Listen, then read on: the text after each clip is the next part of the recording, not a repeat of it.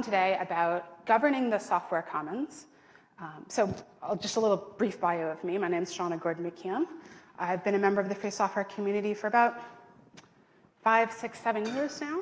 Uh, I do a lot of work uh, in scientific and civic communities. Um, yeah, so I'm excited. I'm excited to talk about our free software projects, our free software community, and how we manage and govern it. So let's just dive right into it. So here, who here has heard the phrase tragedy of the commons? Most people, right? So the tragedy of the commons is when people put their individual short-term interest ahead of the long-term interest of the community. And this, the sort of classical example of this is a literal commons where you have a field and you have farmers, presumably you know, dairy farmers of some kind, they're bringing their cows to the field, and they have an incentive to let the cows eat all they want, but if everybody does that, then the commons gets overgrazed, all the grass dies out, all the cows die out, all the dairy farmers die out, it's, a, it's bad news.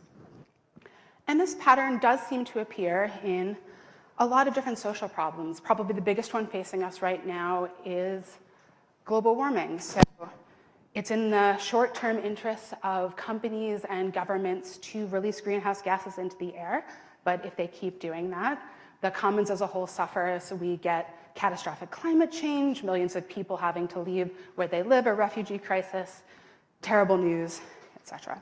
So what does this have to do with free software? Well, many of you have probably heard the word commons used to refer to free software and to similar sort of open shared content like academic articles or pictures or any sort of content where it's easily copyable. People tend to use the language of commons around that, and the Creative Commons uses it explicitly. And so if, if free software is a commons, is it subject to the tragedy of the commons? Well, before we get into that, I want to talk a little bit more about the history of the term tragedy of the commons. So it was popularized in a 1968 article in Science by a man named Garrett Hardin. He wrote, Ruin is the destination towards which all men rush, each pursuing his own best interest in a society that believes in the freedom of the commons. Freedom in a commons brings ruin to all, which is, you know, kind of dramatic. Um, and I, I think that probably a lot of people in this room sort of instinctively disagree that freedom of the commons brings ruins to all. But maybe, maybe you and probably a lot of people you know probably think, well, humans are kind of selfish, and we want to be realistic about the fact that humans are selfish and they're going to pursue their own best interest. So, this is another quote from that same article in the 1968 article in Science Freedom to breed is intolerable to couple the concept of freedom to breed with the belief that everyone born has an equal right to the commons is to lock the world into a tragic course of action. If we love the truth, we must openly deny the validity of the Universal Declaration of Human Rights.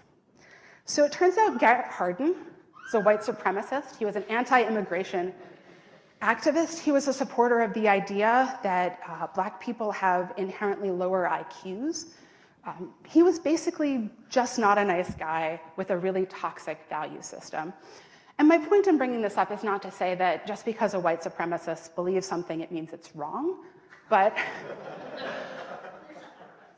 but I think that when a white supremacist believes something, it's important to think about why they're supporting this. And I think, to me, the sort of belief in the inevitability of the tragedy of the commons and white supremacy and things like anti immigration activism come from a place of fear and come from a belief that everyone is inherently selfish and therefore we need to do everything we can to protect our own and the people like us. And I you know, categorically reject that kind of thinking. Um, and so I think that part of what we need to do uh, as a community is to set forth a positive vision of hopefulness that says, yeah, sometimes people are selfish, but we can also be incredibly selfless. Um, so, with that sort of background, if we don't believe that the tragedy of the commons is inevitable, well, how do we manage our commons? And a person who spent a lot of time thinking about this is a woman named Elinor Ostrom. Uh, she was the, a, a prize winner, a Nobel Prize winner, uh, in economics for her work on this topic. She's actually the only woman uh, to win a Nobel Prize in economics, a diversity problem that the free software community is familiar with. Uh, so she wrote a book, her magnum opus, Governing the Commons. It's a fantastic book. I recommend that everyone read it, in which she studied a number of what she called common pool resources, over a dozen of them, stretching from 800 year old Swiss villages that managed the common lands around them to a more modern example of Southern California water reservoir systems. So she looked at a bunch of different systems and she looked for patterns that made those commonses successful and for patterns that made other commonses not successful. Uh, so she talked, she, she referred to commonses as common pool resources, and her definition of a common pool resource is a natural or man-made resource system that is sufficiently large to, as to make it costly but not impossible to exclude potential beneficiaries from obtaining benefits for its use. And when I look at this, this seems like a natural fit for free software, which is a man-made resource system that is costly but not impossible to exclude potential beneficiaries from obtaining benefits from its use. And you're probably thinking, Shauna, what are you talking about? The whole point of free software is that the code is freely licensed, everyone can use it, you can't exclude people from those benefits. To which I say, the code is not the only benefit that a free software project provides. Free software projects provide social communities for its participants and social relationships. It is a source of reputation and therefore a source of economic uh, and financial gain if reputation is used to get work. It is a source of meaning and purpose in people's life, which is perhaps the most important value anything can provide. It is a source of user support and user training. It is a resource that people can use to get features added that they want to see added and to fix bugs that are bothering them. It is infrequently, if you're lucky, it is a exquisitely managed project management system. So there's all sorts of things that a free software project is beyond just a snapshot of the code at any particular point in time. And so I encourage you to think about holistically about what a free software project is. How many people have heard this come up in a conversation yeah, that's, that's, that's most hands. So the phrase don't like it, just fork it sort of buys into this assumption that what's important about a free software project is its code. And if that was true, as soon as there was any sort of conflict in a community, you would see forking. There'd just be forks everywhere. But actually, it's relatively rare for forks to happen. It only happens when things have gotten pretty bad or there's a pretty big divergence in direction. Um, and that's because when you're actually working on a project, you see the value beyond the code itself. Um, had something else I wanted to add here. Maybe I'll remember it later. Um, oh, right. So you can, another way that you can see this holistic value of free software projects is that a number of projects that do have financially successful models, um, for instance, something like WordPress, they release their code same as any other free software project. What they charge for is access to customization, to customer support, and some projects do, uh, they provide charges for access to using the software and like providing it as a service. Um, so many of the models for free software that do work are ones that are explicitly approaching and saying we, there's additional value that's not just in the code itself. So with that in mind, let's dive into the eight principles that Elinor Ostrom came up with when she was studying common pool resources. So the first principle is that those who have rights to withdraw resources from a common pool resource must be clearly defined, as must the boundaries of the CPR itself. So if you believe that a free software project is just its code, you say, okay, well, the boundary is the license on who can use, modify, adapt, and share the code? And the answer is everyone. Great, we're all done here. But if you think of a free software project as being more than just the code, it creates more spaces to draw boundaries. So if a free software project is also a social space, who gets to be in that social space and participate in that social space? If it's a user support system, who gets access to have their user support questions answered? Who gets access to training? If it is a don't remember what the third thing I was going to say. If it's, uh, so, but if you think of it in a different way, you have different options for the boundaries that you draw. And uh, some people, when you talk about drawing boundaries, you might think, oh, but I'm drawn to free software because I love the idea of being part of an open community where there's not gatekeepers or people like relying on credentials to judge people. And I think that it's important to clarify that a common pool of resources, the boundaries aren't drawn based on people's identity, they're drawn based on people's behavior. And so this is precisely what something like a code of conduct does. A code of conduct says, we are open to anyone who behaves in line with our standards. But as long as you behave in line with our standards, you are welcome into this community no matter who you are.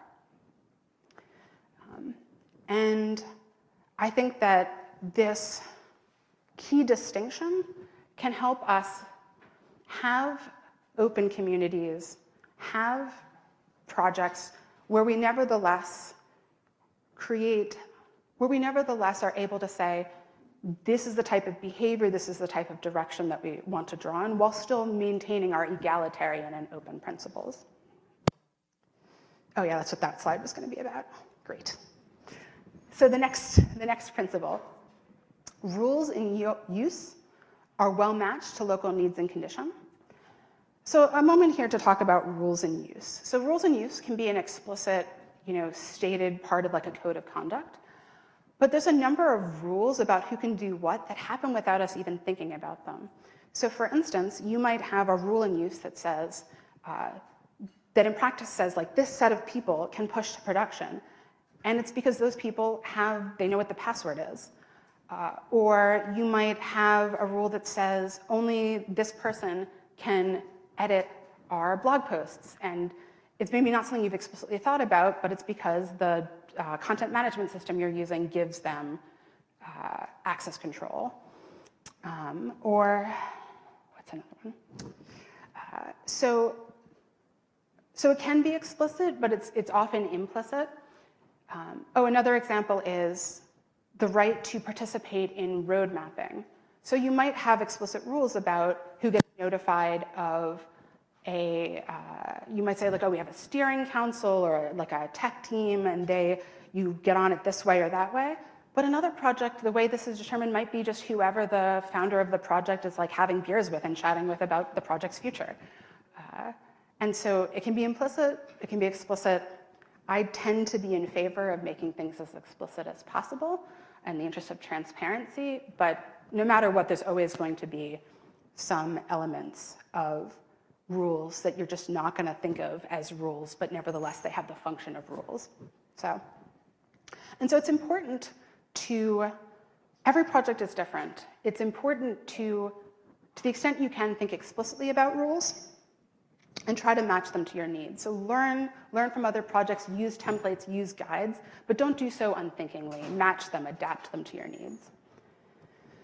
Rule number three, Individuals affected by these rules can usually participate in modifying the rules.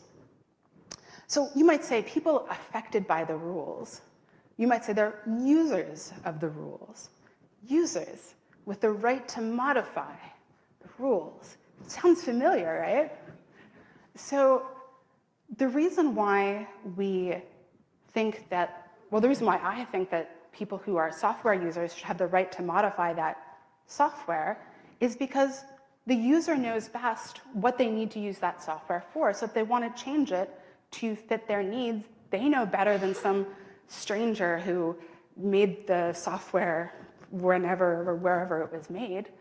Um, and sort of similarly with a rule system, with a governance system, you don't want to have all the rules made by someone who's so far away from the actual rules of use on the ground that they can't make changes when the rules cause problems. And the rules are going to cause problems, just like software is inevitably full of bugs, so are governance systems. Like, you're going to make decisions about how the project should work, how the governance system should work. It's going to be wrong, and you need a way to change it. So tying that to the person and the people who are most affected, it, affected by it is a key part of free software, and it's a key part of any sort of democratic system. Rule number four, behavior is monitored And monitors are accountable to the people whose behavior they're monitoring. So this is a combination of two of my favorite cliches. Uh, rules don't enforce themselves, because they don't, and who watches the watchmen? So it's this, uh, the importance that there are, that people's compliance with rules is monitored and enforced, but also that that monitoring and enforcement is itself made accountable. And a project that I think does this really well is Public Lab. So Public Lab is a community science project, uh, uses free software, uses free hardware. And um, I was talking to Jeff Warren, who's one of the co-founders of Public Lab, about their code of conduct system. And their code of conduct system has a three-part notification system, where when someone commits a violation, the person, the monitor, the moderator, has to notify three parties. They have to notify the individual who made the violation uh, in private, give them a chance to talk through what happened, get some context. They need to notify the place where it happened so that the community understands that a violation happened and that it's being, it was noticed and it's being dealt with by the moderators. And then third, they have to notify the other moderators so that the other moderators can give feedback, maybe let the person know if they disagree with the moderator's decision, give them advice, emotional support, etc. And the result of this system is that the code of conduct, there's a lot of transparency and therefore knowledge in the community. So when you have these like really minor violations or things that almost maybe aren't violations, but they're kind of not great, the community says, oh, I don't, I don't, I don't know that this is in line with our code of conduct. I don't know it's in line with our values. And it's sort of dealt with right away by the community. So there's a very small number of violations that sort of get worse and bubble up to the point where they actually need to be addressed by moderators. And because there's so few of them, the moderators have the time and emotional energy to deal with them. So it's this kind of like virtuous cycle where actually they have virtually no code of conduct violations anymore. Um, and uh, Ostrom's book, and she talks about different ways that monitoring systems can be set up to encourage virtuous cycles. She gives an example of a uh, irrigation rotation system where in order to limit irrigation, people were given set periods of time, and the next person who came to use the irrigation sort of naturally enforced the time limit on the previous person. So there was a natural monitoring of people on each other. Um, so it meant that uh, there was uh, not a sort of separate enforcer who was constantly trying to find enforcements that were difficult, uh, find violations that were difficult to see. So, five, uh, people who violate rules are assessed graduated sanctions depending on the seriousness and context of the offense. A lot of people think that, oh, the fairest thing to do is just to always punish everyone the same for the same violation, but context is actually really important. Um, Ostrom gives the example of a community that had a forest that they were communally managing. And the community fell on hard times, and there were some members of the community that were in really desperate economic circumstances, and they started going into the woods at night to log in violation of the community norms. And the people who were there to monitor the forests saw them and turned the other way because they knew that the people who were doing it, it was a matter of life and death for them, and they respected the fact that these people were just trying to survive.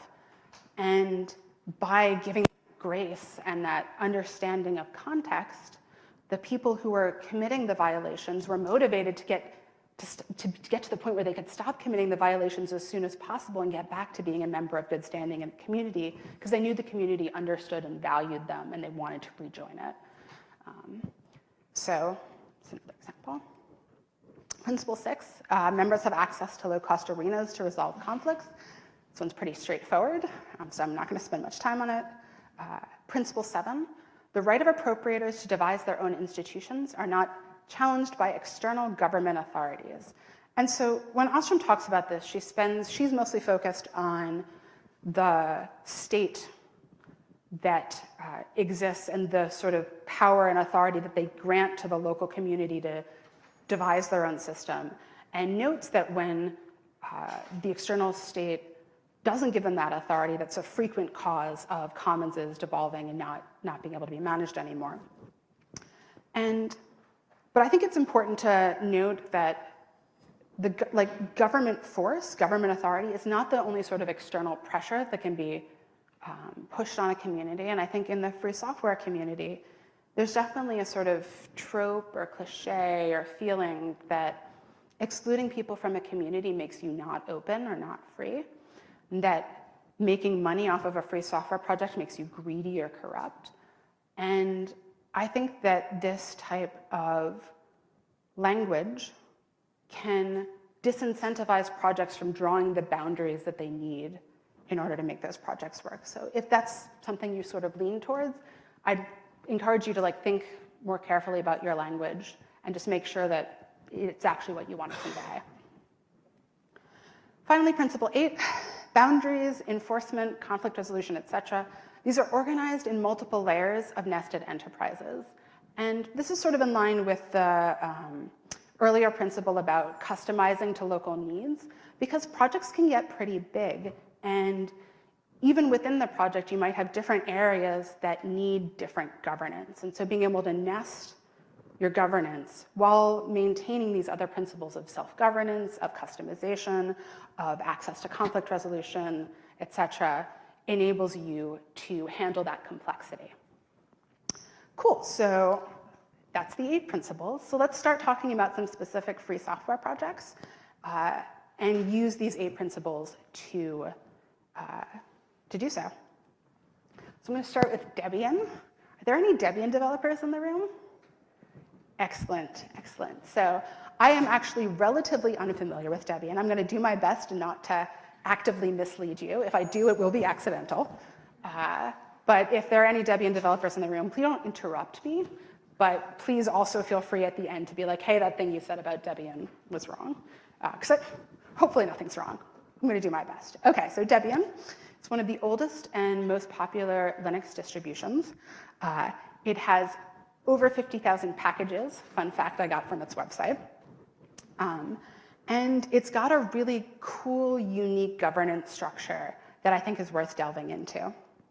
So I found this chart on Wikipedia uh, as far as I know, it's correct, uh, but it's nice and simple, and it sort of gets at the basic structure where you have, so you have the Debian community is wider than just Debian developers, um, but Debian developers have governance rights that people who are not Debian developers do not. So you have a community of developers, and they have a fair amount of autonomy over their individual packages they maintain, but they also elect the project leader who's responsible for handling if there's areas of overlap or conflict, or maybe areas where there is no uh, Debian developer, and so the responsibility sort of would fall through the cracks otherwise.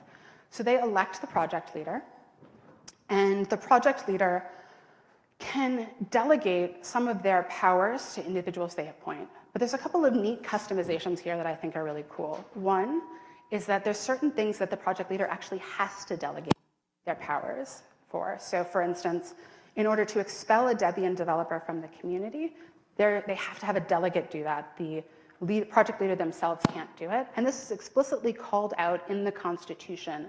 They say, we did this because we don't want too much power concentrated in the hands of one individual.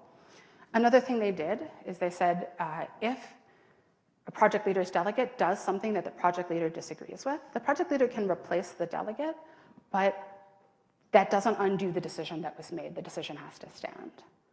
Um, and so I think these are a couple of, you know, clearly thought through, um, well thought out. Um, they were worried about certain implications of the system, so they tweaked the system to make sure that, or at least to try to make sure that um, things wouldn't go wrong in the way that they were worried that it would.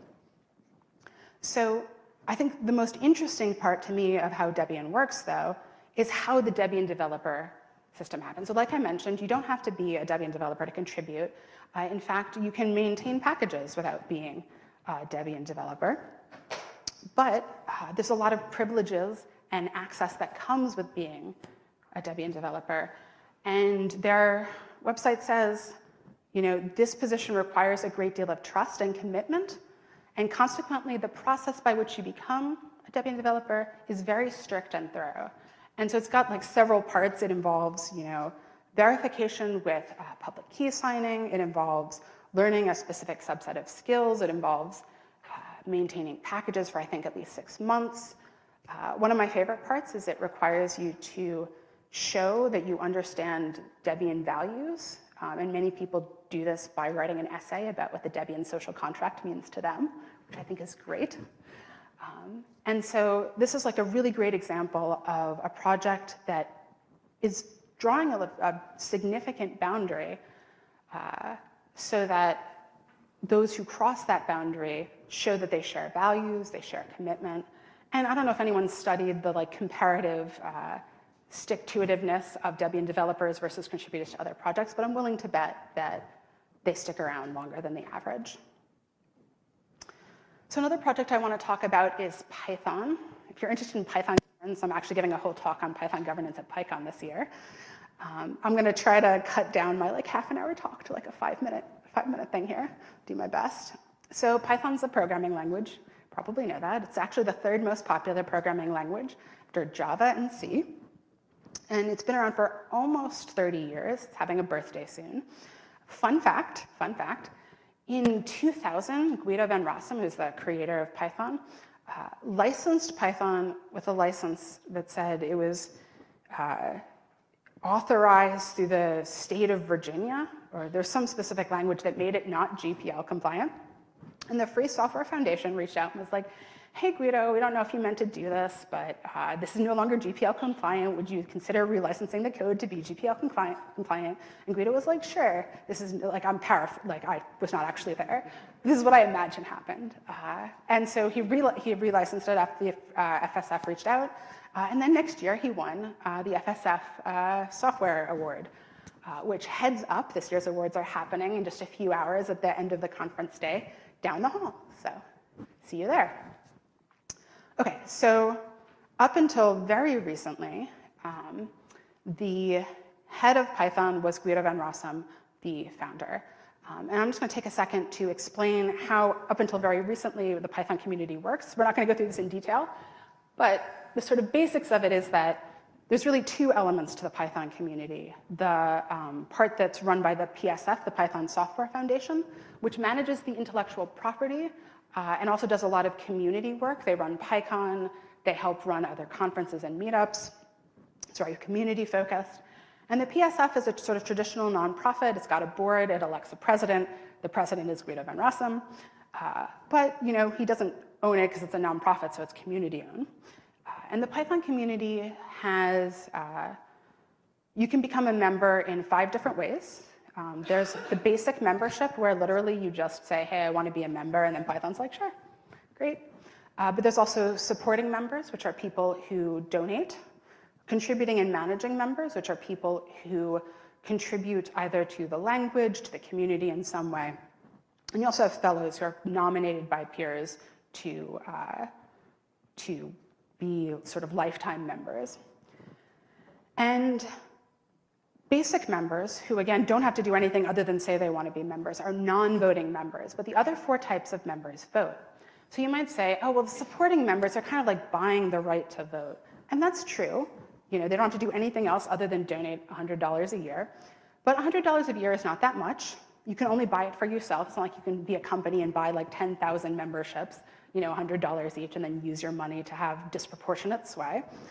Um, and there's these alternate routes into having voting memberships if you can't afford the $100 a month. And so there is a barrier of investment um, that promotes people donating without giving people sort of disproportionate sway. Another interesting thing that the PSF does is you have to, if you want to use your vote, you have to declare your intention to vote at the beginning of the year. So if you just decide in like September that you want to vote this year, it's too late. You have to have the intentionality from the beginning of the year. And then if you declare your desire to vote and then don't maintain by voting in one in every four, at least one in every four votes, then you lose your right to vote for the rest of the year. And this is, I'm not actually entirely sure how I feel about this model, but it's a really interesting decision that's clearly aimed at promoting engagement and saying, if you want to have a say in the community, you need to be actively engaged throughout. So I think that's pretty interesting. So in any case, the PSF has not changed at all, but there's been a big change over on the other side of the Python community, which is the what I what I will call the language itself. I, as far as I can tell, it doesn't have a single term to encompass it. So previously, uh, people could contribute. A set of people were called core developers, and they became core developers by being invited by the current core developers and getting a vote of the current core developers. And the core developers do their development in large part through something called Python Enhancement Protocols, or proposals, or PEPs.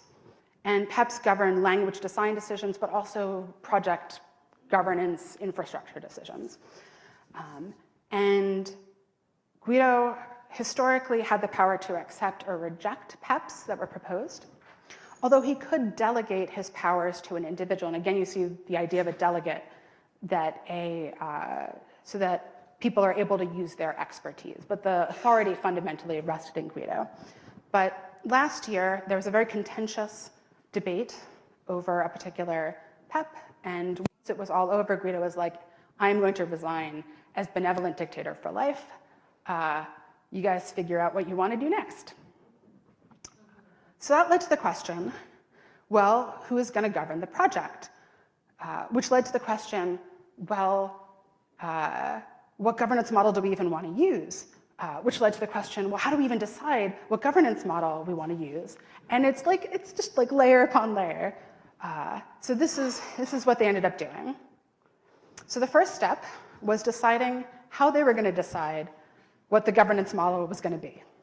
Uh, and if you go to PEP 8001, you will see that they say, okay, guys, we had a meeting, we had a core developer sprint, uh, and then we also had a discussion on uh, python.discuss.org for people who couldn't make it to the sprint, and we talked a lot about it, and we came up with this. This is our plan. And their plan was people could submit proposals for how the project was going to be governed via PEPs, and then they would use a specific voting message, which is outlined in 8001. It's like, you know, oh, it's like a Condorcet system. It's going to use like this uh, website, et cetera. Lays out all the details. Uh, and so once they got that settled, they're like, okay, well, what will the governance model be? So then if you look at PEP 8002, PEP 8002 is the open source governance survey. So members of the community just looked at a bunch of different projects and asked what their governance models were and how it was working out for them.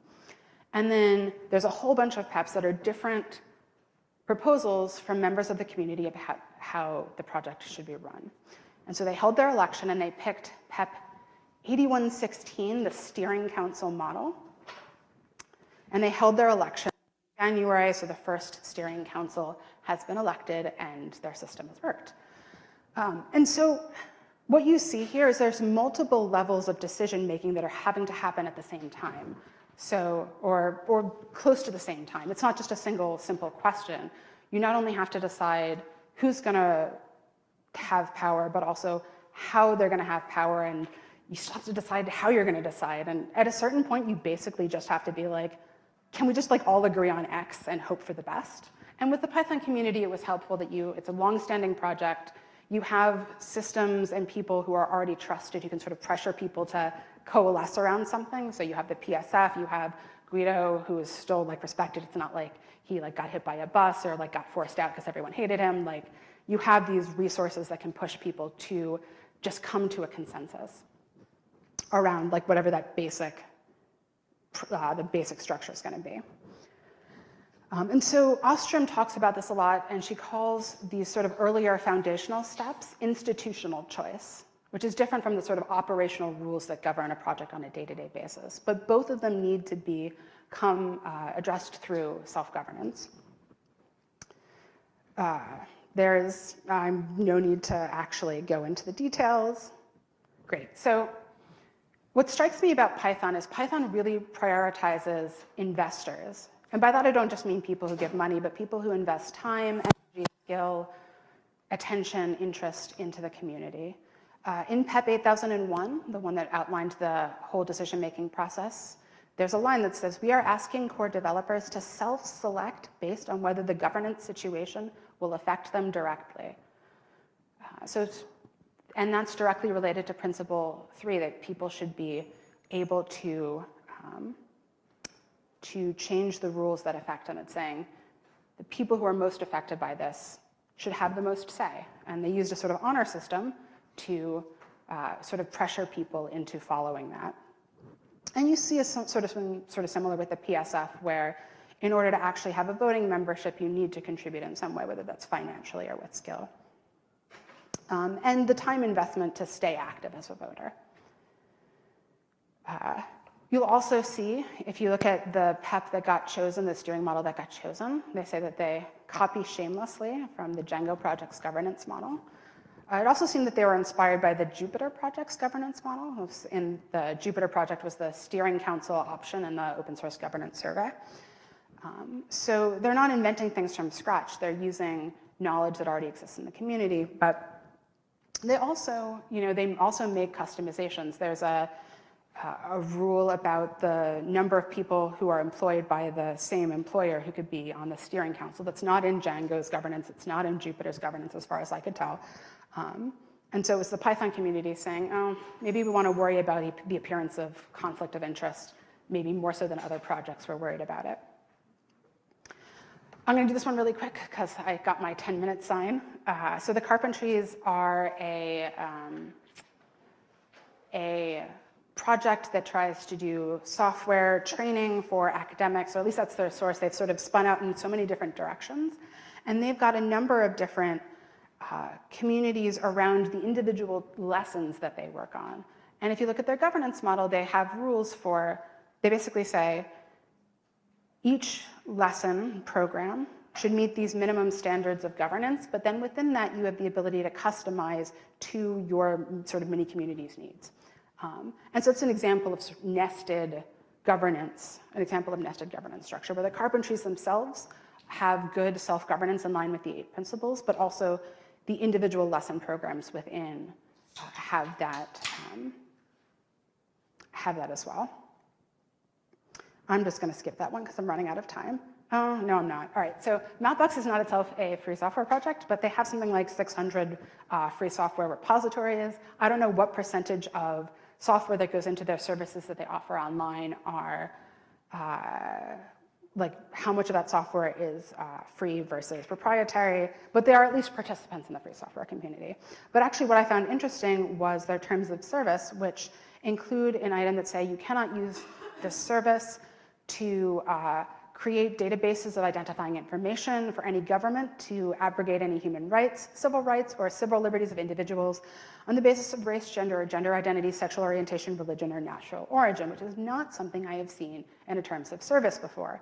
And in fact, I'm so used to thinking of terms, terms of service as this like long, difficult to read thing that's just going to take a whole bunch of rights away from me, but I have to sign anyway because everyone's already using this godforsaken platform and I just feel pressured into it and I have so very negative like associations with terms of service. But here's an example of an organization drawing a boundary and saying we don't want to, we want to minimize the, our participation in this negative thing. So here's a boundary we're drawing.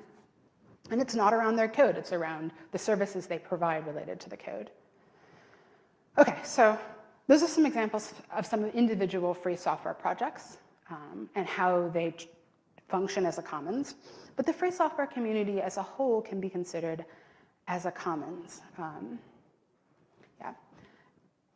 And there are ways in which we interact as a commons. So there are cross-project or uh, meta, meta projects like the Free Software Foundation, the Open Source Initiative.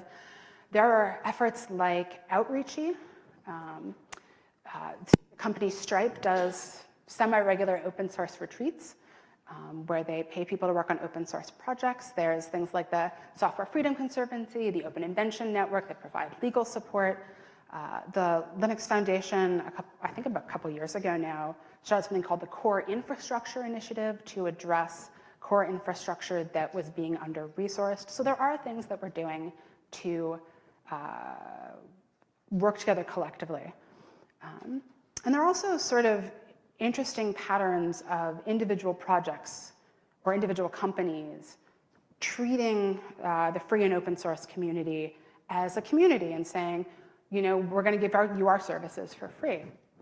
You can see this all over the place. This took me like five minutes to compile. I just, you know, uh, I just um, did a DuckDuckGo search of, you know, uh, open source, free for open source or free for free software. Uh, but so these projects mostly say, you know, if you've got a particular license, you can use the service for free. But we don't necessarily have to draw that boundary. We could say, if you make commercial profits, you have to donate 1% of your profits to the Free Software Infrastructure Fund, uh, and then you get access to the services for free. Or we might say you need to be ethically tax certified, ethical tax certified company. And what's key here is that whoever is making those distinctions be a legitimate authority. What makes them a legitimate authority? Well, if you function according to the eight principles of commons governance, if there's uh, clear membership, if the members are the ones who are deciding the rules, if there's transparency and accountability around how it's enforced, that's where you can sort of say, okay, we're acting as a commons to encourage specific behaviors. And if we don't do that, people are just going to look for some source of legitimacy. And so I found this project, uh, which says that people who are projects that adhere to best practices from a community perspective are also going to be given extra access to their services. And I thought, well, I want to click that link and see who's, who's, who's defining best practices. It's open source guides, and it turns out the open source guides are created by GitHub. Uh, so in the absence of someone more legitimate saying this is what we want from our communities, we have GitHub saying it. And it's not surprising because GitHub is a really central source. It's uh, a lot, everyone knows about it. Not everyone uses it, but it's clearly a sort of uh, financial and reputational heavyweight in the space. But it's, it's just a company. They don't have any, uh, they don't have any authority in the sense of the eight principles they have an authority because they have money and financial success and they make a tool that people like to use, which is like not where I like, it's not the type of legitimacy I typically prefer. So, so I think that this should motivate us to think about, are we gonna cede legitimate authority to GitHub or can we work collectively to provide an alternative?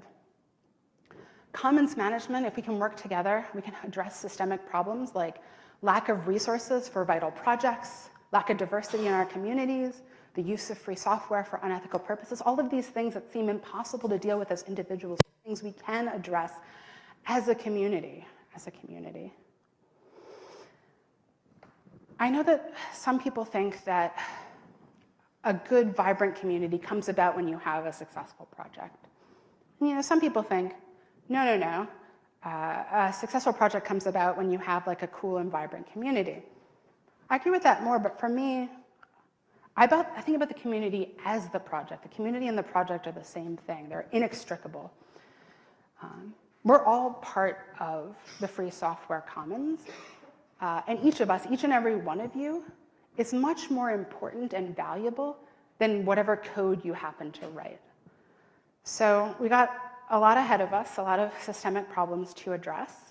But I'm really excited and glad to have you as part of this Commons with me because I think we can work together to figure it out. Thank you.